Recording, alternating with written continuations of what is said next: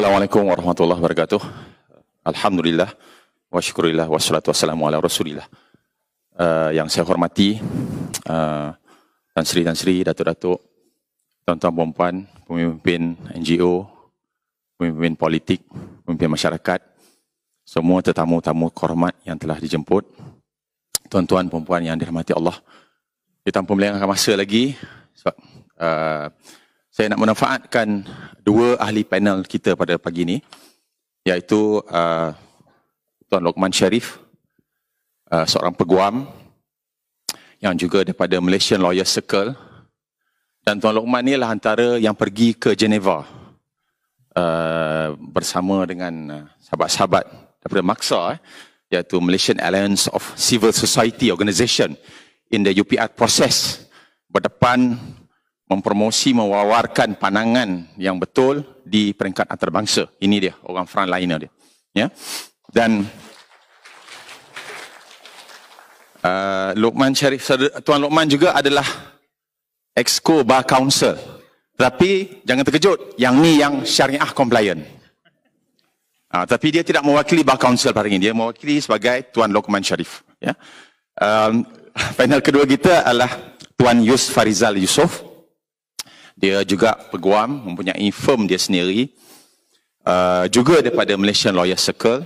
Dan saya dan dia juga uh, mewakili pihak Majlis Agama Islam Selangor MAIS di beberapa kes ya. Uh, termasuklah uh, kes uh, berdepan dengan sisters Islam ya. ya itu pun. Jadi dia arif sangatlah. Ini semua kedua-dua ni menjadi kesayangan uh, yang sebelah sana lah yang sisters Islam ni. Okey baik. Saya mulakan dengan um, Tuan Lokman. Uh, kita dah go dah dah beyond eh go beyond apa ni apa ni latar belakang ISET ni. Apakah yang menjadi orang kata objection utama bagi Tuan Lokman tentang isu ISET ni? Baik. Uh, terima kasih Tuan Pengurusi. Uh, Bismillahirrahmanirrahim. Alhamdulillahirabbil alamin wassalatu wassalam wa ala asyrafil anbiya'i wal mursalin wa ala alihi washabihi ajmain. Um, saya mulakan uh, bantahan ini uh, setelah uh, uh, Menteri Weta Muti uh, mengumumkan bahawa ISET ni akan diratifikasikan suku pertama 2019. Uh, pada masa itu saya pada saya saya bukan rasa saja gelisah tapi saya rasa marah juga kerana kita sudah terlibat dalam dalam uh, beberapa convention ni kan tetapi ia diumumkan tanpa rundingan. Dia umumkan tanpa pada saya pada masa itu uh, rujukan kepada majlis raja-raja. Dan saya rasa sebagai satu demokrasi ini tidak betul. ISET ini menjejaskan kompromi pada saya kompromi perlembagaan kita yang menjejas yang memberi kesan kepada ramai orang bagaimana yang akan memaksa kita mengubah undang-undang kita, bagaimana ia boleh diratifikasikan dalam masa yang terdekat tanpa rundingan dengan uh, uh, publik ataupun dengan orang awam? Kan? Jadi maka itu saya pada masa itu amatlah duka cita ataupun sebenarnya amat. Saya sangat saya tak puas hati. Saya rasa ini satu yang menyalahi lah sebab tu saya mulakan satu petition Lepas tu saya mulakan kempen penerangan kepada rakyat sekalian supaya kita faham apakah implikasinya lah. Dan dari situ Alhamdulillah saya mula saya ingat sikit tapi Alhamdulillah terima kasih tuan-tuan dia telah mencapai 200 ribu lebih yang membantah ISET ini di di change.org lah. Ha, tetapi itulah asalnya kenapa saya membantah kerana dia mahukan ratifikasi tanpa merujuk kepada rakyat. Uh, Okey, tambah sikit. Kalau sekali lalu bagi orang yang tak meng, yang tak tahu secara mendalam ISET ni, dia kata, eh apa salahnya kita nak menghapuskan segala bentuk diskriminasi? Mungkin uh, Tuan Lokman kena perlu jelaskan apa yang dimasukkan dengan apa ni affirmative affirmation, positive discrimination sebagainya uh. tu mungkin. Oh itu mungkin begitu. Tapi dia dia mesti beginilah. Uh, perlembagaan kita sudah mengatakan bahawa kita ni ada equality before the law. Ia tidak membenarkan diskriminasi, ya kan? Tetapi di dalam bila kita menggubal undang-undang dahulu, kita meletakkan satu penuntukan yang penting. Exception as except as provided in the constitution. Kecuali lah yang termaktub di dalam perlembagaan. Jadi secara amnya, secara amnya kita tidak kita tidak berdiskriminasi. Tetapi akibat kompromi perlembagaan yang yang kita telah tercapai, maka ia merupakan merupakan salah satu dasar ataupun asas kepada perlembagaan kita di mana didiskriminasi. Cuma saya nak menerangkan lagi lanjutlah diskriminasi. Mungkin kita kurang faham kadang-kadang kan. Sebenarnya orang ingat kita mendiskriminasi orang bukan muslim saja. Kalau kita melihat perlembagaan yang di, orang muslim juga didiskriminasi. Ramai yang tidak faham ini sebab misalnya macam ni. Undang-undang syariah undang-undang syariah ini membuat seseorang itu bersalah atau tidak atas dasar agama. Ini bukan equality before the law. Kan? Ini diskriminasi. Ini diskriminasi kepada orang muslim. Tapi selalu kita fokus pada 153. Kan?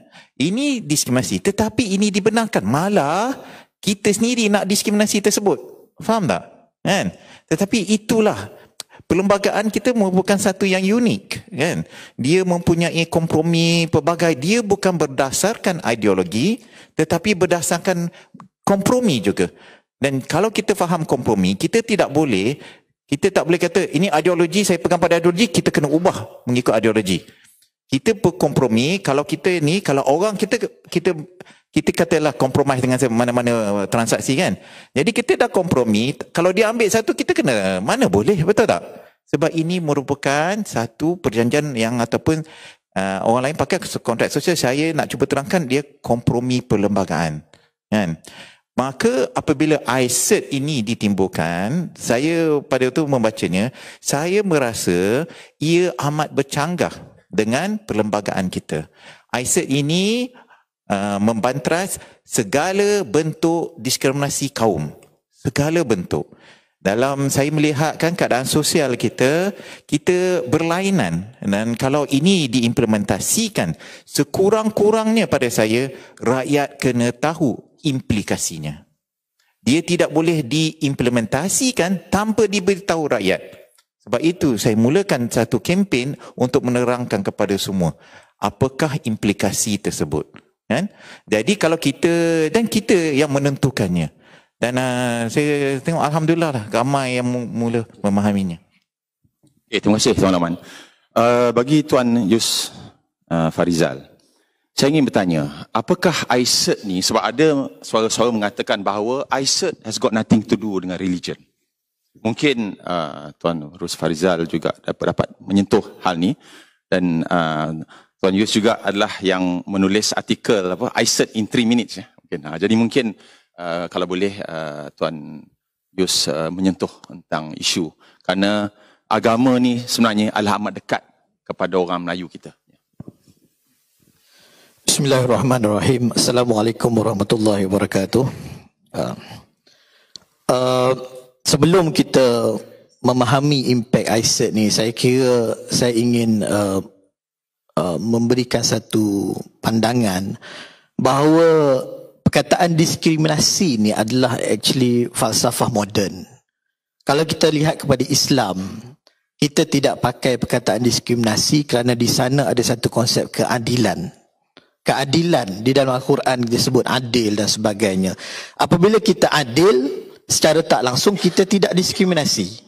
Jadi adil ini yang perlu difahami bukanlah kesamarataan bukanlah sama kuantiti tetapi adil ini adalah meletakkan sesuatu pada tempatnya. Sebab tu kalau kita lihat uh, uh, khilafah zaman dahulu walaupun uh, orang bukan Islam duduk di negara Islam tetapi ada perbezaan. Kita memberikan keadilan kepada mereka dalam masa yang sama mereka perlu membayar jizyah tidak seperti orang Islam yang tidak perlu membayar jizyah hanya membayar zakat jadi kalau kita nak katakan ini satu diskriminasi, maka susahlah.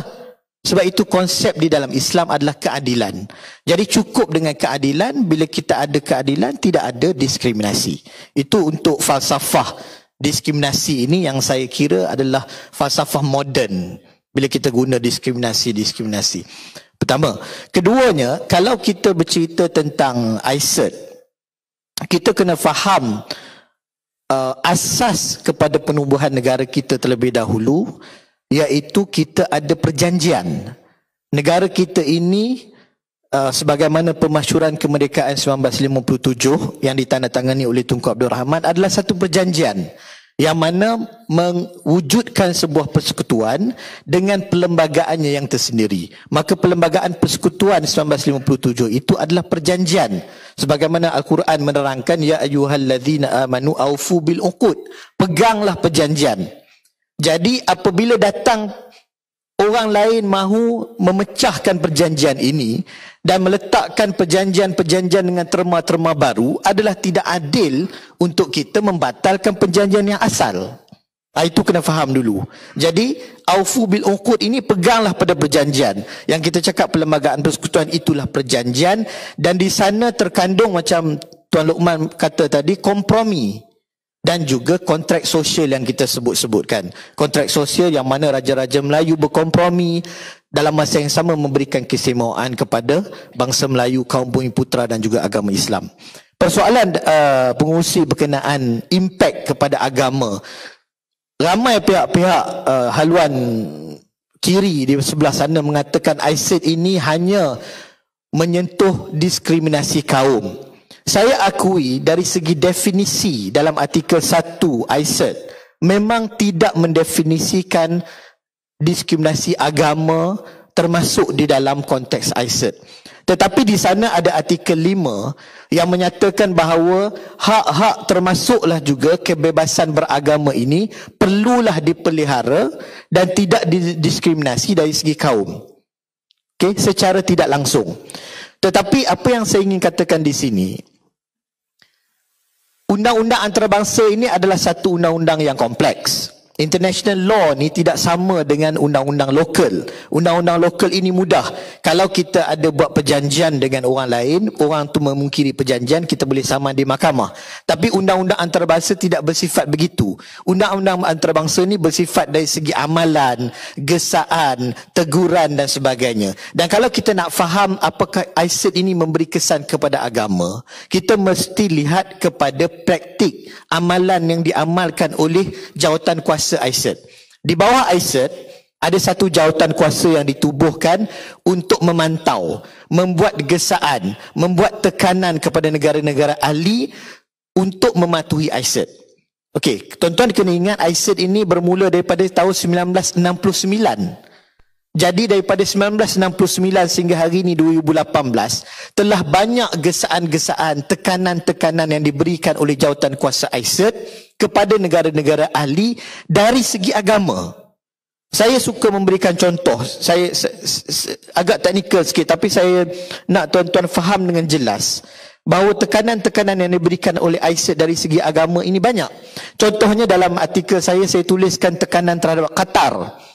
Bagaimana Qatar menerima ISET tetapi jawatan kuasa ISET mempersoalkan tentang sistem mahkamah syariah dan mahkamah sivil. Bagaimana jawatan kuasa ISET menyatakan kenapa orang bukan Islam tidak boleh akses kepada mahkamah syariah di Qatar.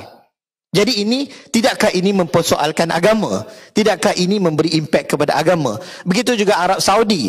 Dalam laporan 2017, Arab Saudi adalah sebuah negara yang menerima ISET dengan pengecualian.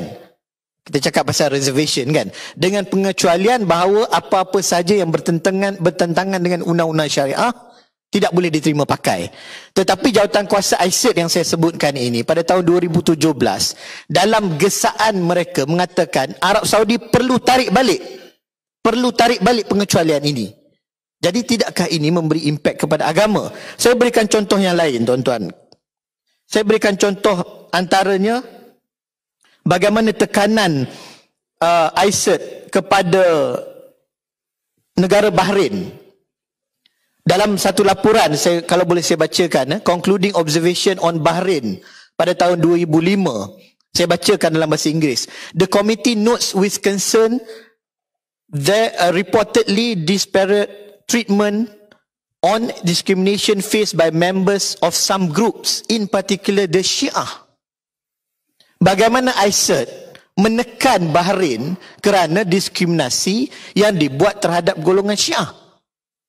Tidakkah ini menyentuh kedaulatan sesebuah negara yang mentafsirkan Syiah itu sebagai sesat? Dan tidakkah ini sama dengan Malaysia?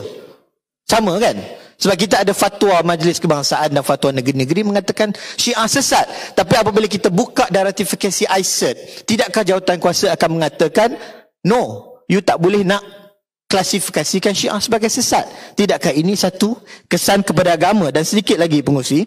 Begitu juga dalam uh, uh, kepada Pakistan pada tahun 2016 bagaimana uh, komi, uh, jawatan kuasa ISIS mengatakan undang-undang yang dibuat oleh Pakistan untuk mendakwa orang yang menghina agama ini tidak boleh. Blasphemy laws. Blasphemy laws tidak boleh dibuat di Pakistan kerana kononnya mendiskriminasi. Tidakkah apa yang kita buat di negara kita ini, kalau ada orang yang menghina agama, menghina Nabi Muhammad SAW, kita kenakan tindakan berdasarkan enactment-enactment pentadbiran negeri-negeri. Jadi kalau kita buka ICET, ICET memberi komen dan gesaan sedemikian, tidakkah ini tuan-tuan mencampuri urusan agama secara tidak langsung? Banyak lagi negara kalau kita nak tengok sebab ada pihak mengatakan oh kita kena tiru negara-negara Islam yang telah menerima ISAT kan? Tetapi sebenarnya kita perlu melihat konteks kita. Konteks kita ini ia akan memberi kesan kepada agama institusi fatwa mahkamah syariah dan juga soal faroid dan sebagainya. Saya saya jelaskan sebelum ni. Uh, setakat tu. Uh, uh, saya ingin tambah. Sebab itulah kita kena, kena, kena saya kita kena jelas kenapa kita bangkang juga ya ini merupakan kompromi-kompromi perlembagaan kita kan. Ini kalau kita tanda tangan ISA, kita akan accountable kepada badan badan di luar negara. Kan? Takkanlah kompromi ni, kompromi ni kalau kita nak satu lagi kompromi patutnya diselesaikan antara kita. Kenapa kita harus membawanya kepada negara luar? Kan? Jadi contohnya sekarang ni misalnya kan, kalaulah kita menandatanganinya, sudah tentu akta ITM harus dimansuhkan. Betul tak? tak? Tetapi di dalam perlembagaan kita menyatakan bahawa apa-apa atas uh, artikel 38 sekiranya uh, polisi berkenaan 153 ini diubah kita kena rujuk kita kena rujuk kepada majlis raja-raja. Takkan kita nak pergi ke majlis raja-raja mengatakan tuanku tuanku kita kena sign sebab ICET memaksa kita memasukkan akta ITM. Kita menyerahkan kedaulatan kita kepada badan luar. Faham tak? Sebab tu ini banyak implikasinya sebenarnya. Sebab kita mempunyai satu perlembagaan yang kompleks. Kan? Kita mempunyai kompromi, kita bersetuju bermacam-macam hal itu. Dan kalau kita nak hendak merungkaikannya balik ataupun mengubahnya, biarlah kita tentukan. Kita nak perlembagaan kita, kompromi kita, kita tentukan. Bukan orang luar yang patut menentukannya. Uh, tapi Tuan Lokman, pada saya, saya nampak itulah sebenarnya pretext mereka untuk pergi dan memberi tekanan kepada majlis raja-raja dengan membawa cerita bahawa eh ini masyarakat negara antarabangsa dah ni, iktiraf ni. Jadi takkan kita nak jadi negara-negara paria macam seperti Myanmar dan North Korea. Uh, itulah dalam eh, ini saya cakap uh, saya jumpa ramai orang mereka mengatakan ada 14 negara yang belum sign. Ya, dalam 14 negara ada Myanmar dengan North Korea. Takkan kita nak sama taraf dengan orang betul tak? Tak malu ke kita? Betul tak? Ini selalu dibangkitkan. Saya cakap seperti ini ya. Kita kita rakyat misal saya nak tahu siapa tahu berapa banyak convention human rights yang ditandatangani oleh Singapura? Siapa tahu berapa banyak yang ditandangkan oleh Korea? Oleh US? Tak ada siapa tahu. Tahu ke tak kenapa tak ada siapa tahu? Sebab orang lain tak kisah. Tak menjadi penting. Saya mempunyai objection kepada hujah ni. Saya kata ini hujah dusta ataupun disingenuous ataupun hujah tidak jujur. Sebab mereka boleh saja membandingkan kita dengan US. Tuan-tuan dan puan-puan, kita telah menandatangani, menandatangani lima perjanjian Convention on Human Rights daripada 18. Teka berapa banyak US telah menandatanganinya? Lima juga. Lima juga tuan-tuan dan puan-puan. Kalau kita tengok juga SIDO, kita tak sign ICET, US tak sign SIDO. SIDO ni adalah convention uh, anti diskriminasi wanita ataupun uh, anti diskriminasi wanita kan. Dalam SIDO, 8 negara yang tidak ratifikasikannya lagi. Teka siapa salah satunya? US. Ada tak kita baca CNN, CBS, ABC semua mengatakan bahawa US ni sama taraf dengan Myanmar dengan North Korea? Kalau kita tengok SIDO, US, Myanmar dan Korea pun ratifikasikannya. US tak ratifikasikannya pun langsung. Sebab itu, ini semua ke, semuanya hujah-hujah yang tidak berasas. Hujah-hujah disingenuous. Sebenarnya tak penting. Orang lain tak tengok pun. Kita tak kisah pasal orang lain. Adakah orang lain kisah pasal kita? Tidak, di peringkat asal-asal ini tidak. Kalau tuan-tuan dan tuan-tuan faham nanti macam mana proses ni berlaku, sebenarnya isu ni ditimbulkan oleh negara kita, NGO-NGO sendiri. Sebab tu dia patah balik merasakan orang lain kisah. Sebenarnya kalau tak dibawa oleh NGO-NGO tempatan, tak menjadi isu pun di sana. Kan? Itulah permasalahan UPR. Saya dah tulis, saya mempunyai masalah sebab NGO-NGO tidak mempunyai accountability di sana. Ha, itu itu isu berlainan kan. Ha, dari situlah kita hujah-hujah yang tidak tepat saya rasa. Okey, uh, mereka uh, menyentuh tentang apa ni isu agama yang hal keagamaan tadi. Uh, saya merasa pelik Tuan Yus bahawa mereka boleh quote ya bahawa kita tak mengikut contoh negara-negara Islam ya seperti Saudi sebagainya. Tetapi fakta ini diberi oleh Tuan Yus Jadi apakah uh, persepsi yang kita boleh ambil konklusi bahawa yang mereka nak highlightkan perkara yang mereka nak redahkan. Uh, tetapi mereka diam tentang perkara-perkara yang kita tidak tahu seperti mana yang di itu. Jadi apakah uh, orang kata kita punya apa ni approach kita, pendakan kita supaya rakyat di bawah faham, orang Melayu Islam kita faham bahawa ini bukan isu diskriminasi yang yang mereka faham tapi semana, macam mana, sebagaimana yang Tuan Yus sebut tadi lah, keadilan meletakkan satu perkara pada tempat yang yang yang sebenarnya. Uh, saya kira bila menyentuh agama dan perbandingan dibuat kepada negara-negara OIC, kita perlu faham beberapa perkara. Pertamanya ialah fabrik sosial dan perlembagaan. Kalau kita nak macam Tuan Luqman kata tadi, kalau kita nak bandingkan fabrik sosial di Malaysia dengan negara-negara Arab yang lain, tentunya tidak sama bagaimana kemajmukan masyarakat di negara Malaysia ini tidak sama dengan kemajmukan di Arab Saudi. Arab Saudi mungkin mempunyai minoriti yang begitu kecil. Tetapi kita ini memiliki minoriti yang agak besar jumlahnya. Dan sebab itu, kalau kita membuat perbandingan, dia tidak boleh jadi perbandingan apple to apple. Tidak kena. Perbandingan itu tidak kena. Kan? Kalau kita lihat negara mana lagi yang mempunyai fabrik sosial yang lebih kurang sama dengan Malaysia? Susah kita nak sebut satu negara yang mana meletakkan agama Islam sebagai agama persekutuan walhal mempunyai golongan minoriti yang agak besar. Susah nak cari. Walhal di Timur Tengah majoriti yang besar 90% 80% adalah umat Islam berbangsa Arab. Jadi mana mungkin kita nak membanding samakan negara kita dengan Arab Saudi dan negara-negara OIC yang lain. Itu pertamanya. Pembandingan itu tidak adil dan tidak boleh dibuat dan tidak boleh dipukul rata. Negara OIC terima, kebanyakannya kita tak terima. Kerana fabrik sosial dan perlembagaan yang berbeza. Keduanya, menggunakan hujah Tuan Luqman juga. Tuntutan dan dan dan bantahan kita ini adalah tersendiri. Kita membantah kerana kita melihat keperluan dalam negara kita. Saya tidak pasti konteks Arab Saudi ada atau tidak UITM.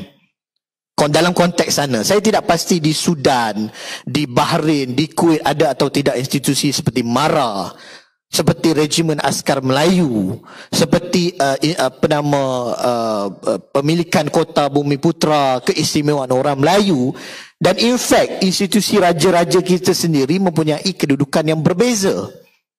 Kita ada sultan negeri-negeri yang yang melantik YDPA dan sebagainya.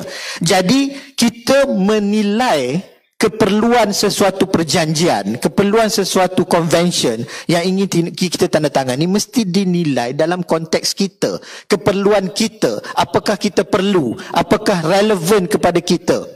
Saya katakan, ia langsung tidak relevan kerana apa? Saya tanya tuan-tuan dan puan-puan, sepanjang kemerdekaan kita, kalau kita nak banding beza dengan Timur Tengah, adakah negara kita mempunyai konflik yang meruncing? Ada perang saudara? Tidak ada. Walaupun konflik politik mungkin ada. 1998 dan sebagainya. Konflik politik yang melihatkan perpecahan orang Melayu. Tapi adakah sampai kita perang saudara?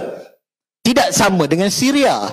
Tidak sama dengan Yaman. Tidak sama dengan Arab Saudi jadi fabrik sosial dan keperluan kita berbeza. Kerana apa kita majmuk? Kerana apa kita masih aman? Kerana apa tidak ada konflik yang meruncing? Kerana kita menghormati perlembagaan dan kontrak sosial yang saya sebutkan tadi. Cuma pada hari ini, dengan keamanan yang telah kita kecapi, kita nak patah balik pula. Kita nak mengikut pula negara-negara yang ada konflik kita nak mengikut pula negara-negara yang tidak ada fabrik sosial yang kuat. Lantas kita nak jadi perang saudara. Kalau timbul saja isu ISIS ini pun orang Melayu dah bangkit. Kita tidak pernah tengok kebangkitan uh, movement NGO yang sebegini besar. Kita tidak boleh pernah melihat orang-orang yang kita katakan atas pagar tidak tidak berpihak kepada mana-mana parti politik bangkit individu demi individu untuk menentang kerana apa? Kerana kita tidak mahu ISIS ini menjadikan konflik itu semakin meruncing. Tak ada masalah, cari masalah. Okay? Jadi itu dua perkara yang kita kena jelas. Tidak boleh mengambil negara lain sebagai contoh. Dan satu lagi saya nak sebut sebelum uh, untuk soalan ini. Saya bila saya baca uh, deklarasi hak asasi manusia 1948 ada satu perkara yang orang yang yang orang lupa. Deklarasi Hak Asasi Manusia 1948 adalah deklarasi hak-hak manusia dan di situ disebut salah satu haknya ialah hak kedaulatan sesebuah negara yang mana tidak boleh campur tangan. Tidak ada negara lain boleh campur tangan kedaulatan sesebuah negara dan bagaimana negara tersebut ingin mentadbir dan dan dan memerintah negaranya.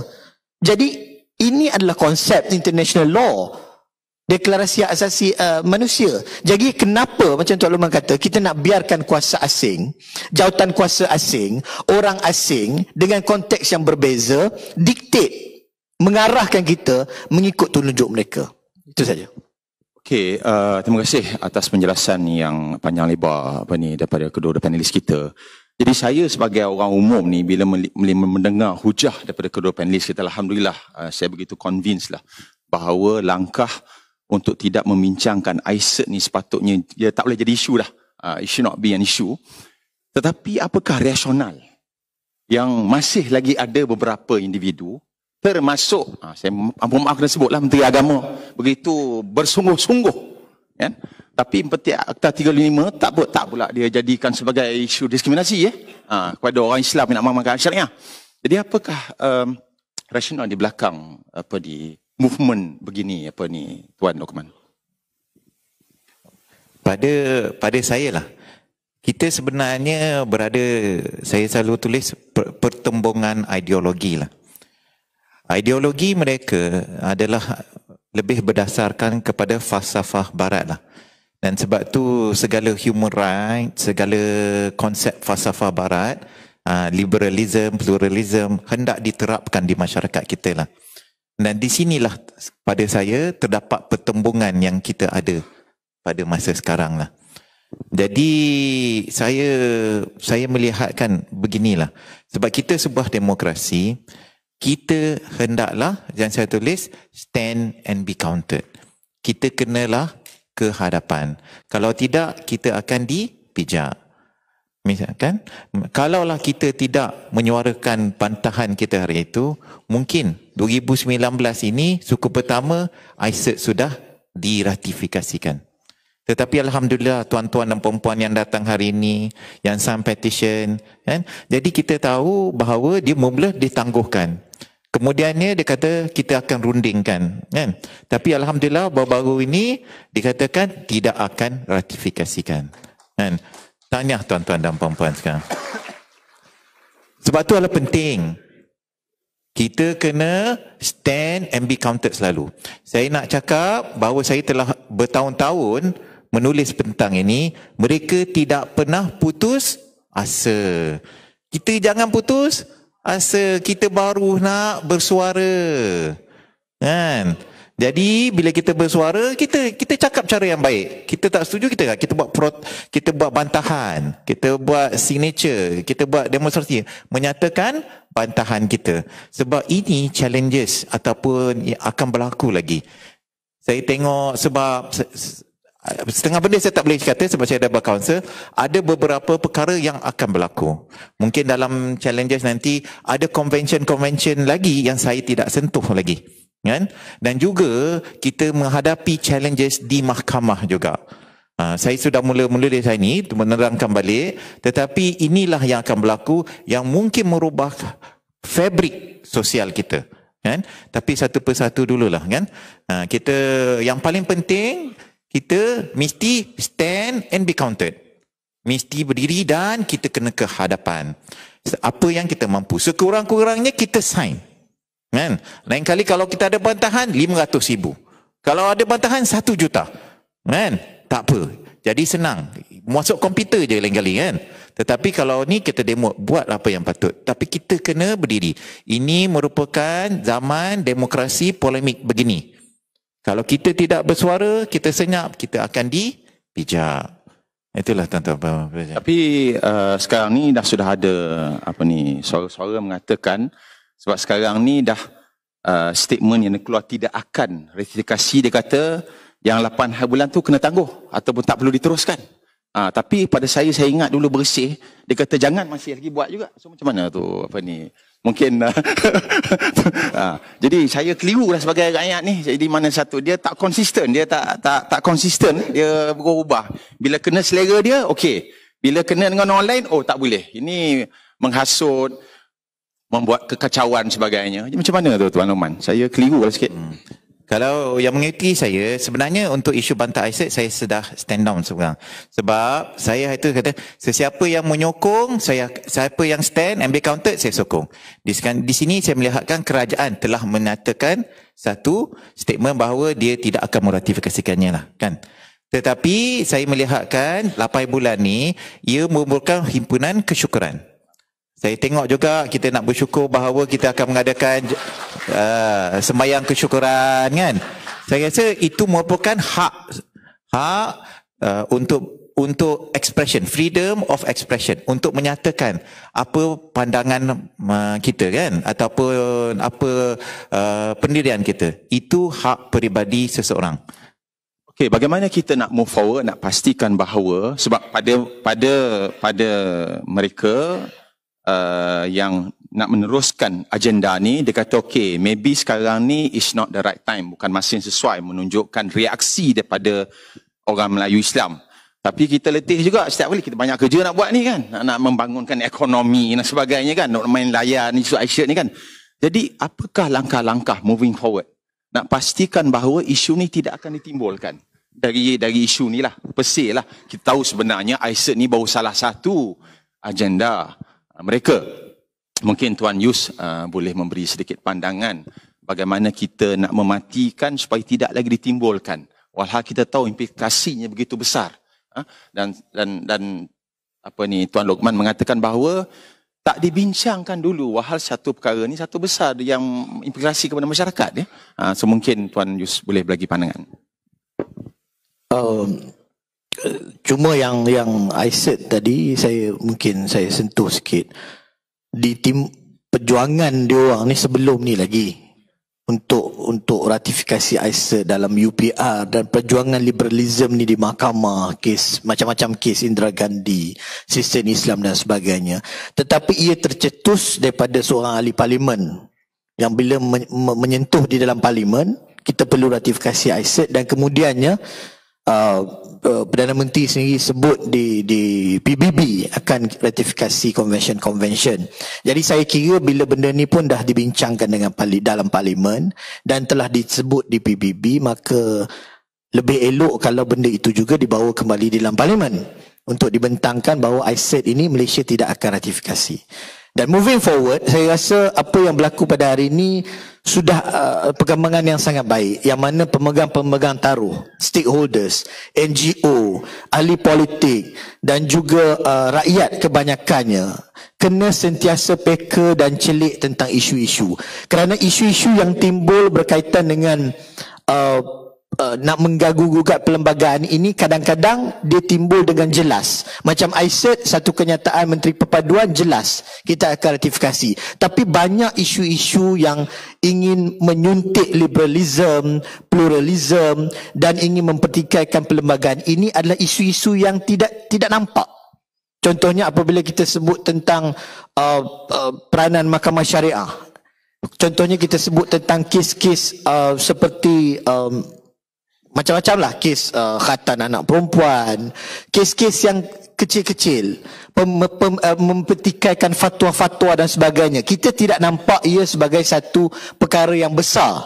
Tetapi itulah pencetus-pencetus yang mana golongan ini akan menyuntik jarumnya sedikit demi sedikit. Jadi moving forward, apa yang saya rasakan, pemegang taruh, kita semua, ahli-ahli politik, uh, NGO dan sebagainya, kena sentiasa peka dan juga kita berbincang dan apabila ada isu kita terus suarakan. Macam Tuan Rahman cakap stand and be counted. Sentiasa ada. Jangan kita tunggu benda itu sudah berada di penghujung. Telur di hujung tanduk ataupun sudah ter, ter, terhantuk baru tergadah. Kan? Sudah terhantuk baru tergadah. Apa akan jadi tuan-tuan bayangkan? Kalau kita tidak bersuara tentang ISET sudah tentu dalam sedikit masa kerajaan akan ratify kerajaan akan ratifikasi kalau tidak ada bersuara. Kalau tidak ada petition sampai 100 200 ribu. Kalau tidak ada uh, akademik academician bersuara dengan memberikan hujah undang-undang. Jadi ini yang perlu kita kekalkan dan kita teruskan. Ada banyak lagi convention ada banyak lagi isu-isu yang ditimbulkan nanti dan kita kena sentiasa peka dan kita sentiasa bersuara untuk um, memahamkan masyarakat dan kerajaan tentang isu ini Uh, Tuan Yus, uh, apa ni saya pernah apa ni diberitahu oleh seorang pegawai yang wakil kita yang pergi ke apa ni di platform antarabangsa uh, Geneva ni bercakap tentang human rights. Bila bercakap pasal LGBT sebagai contoh, mereka kata boleh tak you letak religion to aside. So mungkin eh, ini kena perlu dijelaskan kerana rakyat kita perlu orang Melayu Islam kita perlu tahu bahawa mereka bercakap human rights itu tidak ada unsur keagamaan. Wahai kita tahu sini agama adalah begitu dekat uh, pada jiwa orang Melayu kita. Jadi mungkin itu mungkin uh, satu perkara yang orang kata clash of civilization ya uh, yang yang mana kita tak bercakap apple to apple kan itu ya. Jadi uh, itu mungkin ada sikit penjelasan. Saya uh, mungkin Ketua Luqman boleh sentuh pada pasal dekat Geneva. Tapi saya saya komen saya mudah saja. Sebab kalau um, mengikut ada pensyarah UAE tentang international law dia mengatakan bahawa satu satu buku yang uh, baik tentang penerangan tentang LGBTQA sekarang ni bukan LGBT saja LGBT saja. Sekarang ni LGBTQA ah bukan uh, apa nama lesbian, gay, uh, transexual saja. Sekarang ni dah ada cure dan any. Kalau kita lihat uh, gejala ini, kalau tuan-tuan baca menjijikkan. Menjijikkan sehingga di Eropah, di Spain, di Germany ada pusat pelacuran haiwan. Cure dibenarkan. Jadi mereka membenarkan perkara ini kerana pemisahan mereka terhadap agama mereka sendiri. Kita tidak bercakap tentang Islam. Tidak ada satu agama, kalau tuan-tuan boleh tunjukkan kepada saya, tidak ada satu agama pun, Kristian baik, Yahudi baik, yang membenarkan hubungan luar tabi'i.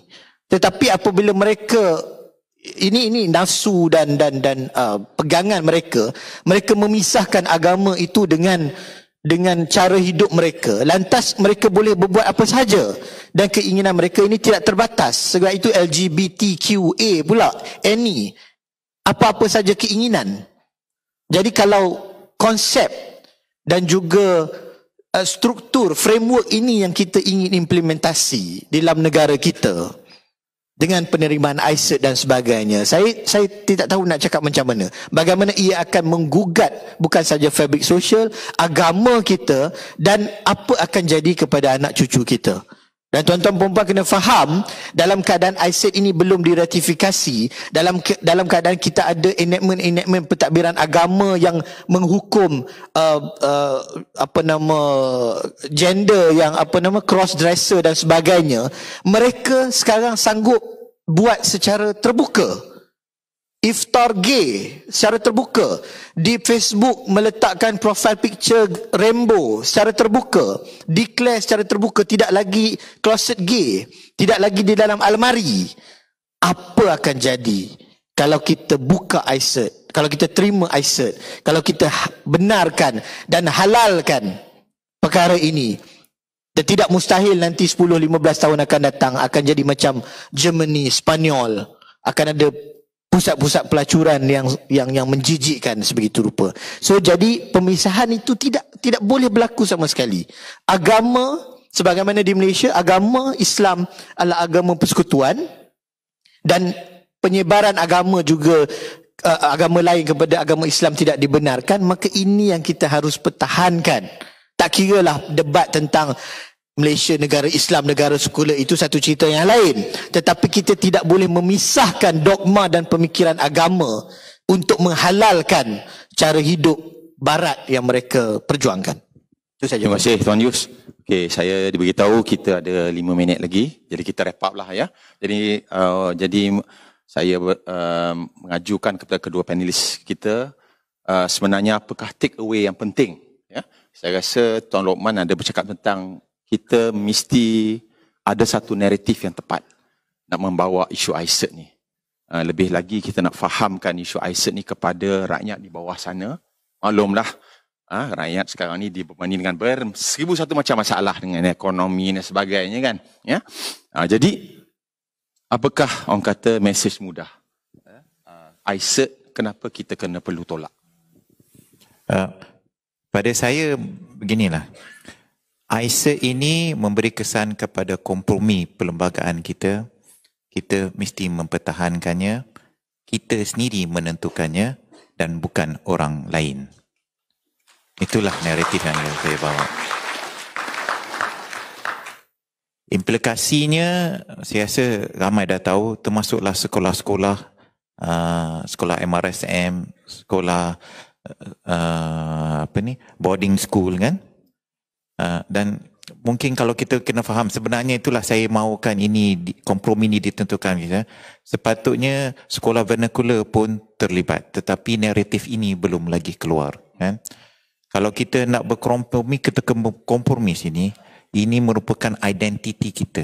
What constitute a Malaysian sebab tu saya tidak setuju langsung ini dibawa kepada pihak luar dan tuan-tuan kena faham, proses UPR ni menekan kita. Sebab kita ni, saya tengok terlampau sensitif sangat dengan human rights. Dia diarus perdanakan dalam media. Jadi kita ber uh, kita react ataupun bereaksi kepadanya tanpa menganalisa siapa yang di belakangnya, apakah motif dia tersebut. Yeah. Jadi misalnya kita selalu rasa bersalah. Macam ni argument argument beginilah. Orang lain dah sign kenapa kita tak sign? Jadi kita rasa malu pula. Tapi kita tak fikir sebenarnya benda ni hujah ni tak betul. Sama juga perkataan diskriminasi di sana di falsafah sana tak boleh diskriminasi langsung. Tetapi itulah kita kena faham nilai budaya nilai sosial kita berlainan. Perlembagaan kita berlainan sejarah kita berlainan dan kita sepatutnya tidak malu mempertahankan nilai budaya kita. Betul tak? Kita jangan kita jangan jadi apologetik, tidak apa yang malu. Di barat kalau saya saya cakap, saya membentangkan pendapat saya, mereka boleh menghormatinya. Jadi kita jangan malu. Kita orang boleh hormat kalau kita berpendirian. Stand and be counted tuan-tuan dan puan-puan itulah uh, uh, dia orang ni dia malu bila orang luar bercakap yang mereka merasakan pandangan mereka lah persepsi. Tapi kalau generasi kita terlibat dalam LGBT IQ tu itu tak tak perlu malu. Sebab itu hak. Ha, ini. Jadi saya pun malu. Dia orang pun saya rasa dah agak keliru lah apa ni tuan. Um, tuan Yus apa ni untuk kata akhir. Uh, sekali lagi kita uh, perlu fikir saya rasa dalam hidup kita ni apa-apa pun kita kena fikir agama, kita kena fikir generasi kemudian, apakah cabaran-cabaran yang akan berlaku untuk generasi kemudian. Jadi kalau kita tak tolak ISIT ini dengan keadaan yang sekarang ini pun kadang-kadang nampak semakin parah. Saya rasa generasi kemudian nanti tidak akan ada identiti dan jati diri langsung. Anak-anak kita nanti akan keliru dan jangan sampai ia terkesan kepada anak-anak kita baru kita nak terengadah. Jangan sampai benda itu kena kepada ahli keluarga kita yang terlibat dalam perkara-perkara sedemikian baru kita nak melatah. Jadi inilah ketikanya untuk kita menolak anasir-anasir ini, kita tolak ISIT kerana ia menggugat, mengganggu gugat bukan saja perlembagaan tetapi juga agama kita dan kita perlu kekal dengan naratif dan betul kita tidak perlu malu untuk menyatakan hak kita dan pendirian kita kerana kalau kita berpendirian mungkin orang akan lebih menghormati kita daripada kita hanya mengikut-ngikut acuan orang lain. Mengikut-ngikut apa yang orang lain cuba diktit dan arahkan kita. Dan itulah sebenarnya dalam agama kita harus berpendirian. Sekian itu saja. Terima kasih. Saya rasa itu satu orang kata apa ni ending yang baik kerana kita mempunyai kedua-dua lawyer yang ada pendirian ada setengah orang dia bertukar. Pada mula dia kata akan rectify, lepas tu tangguh, lepas tu sekarang ni tidak akan. Kita pun tak tahu dia mana ke mana kan. Ha, jadi tak, itu pun ada yang berkata ini genius. Saya kata bukan genius itu tak ada pendirian namanya tapi tak apa okey itu kan. Baik, saya rasa terima kasih kepada kedua-dua panel kita uh, yang berkaliber yang memberi penjelasan kepada apa ni tuan-tuan puan dan saya mengucapkan ribuan terima kasih Eh, tuan-tuan dan puan uh, eh, sidang hadirin yang sabar mendengar penjelasan kami. So saya serahkan kepada pengacara majlis ya untuk sesi sesi seterusnya. Thank you.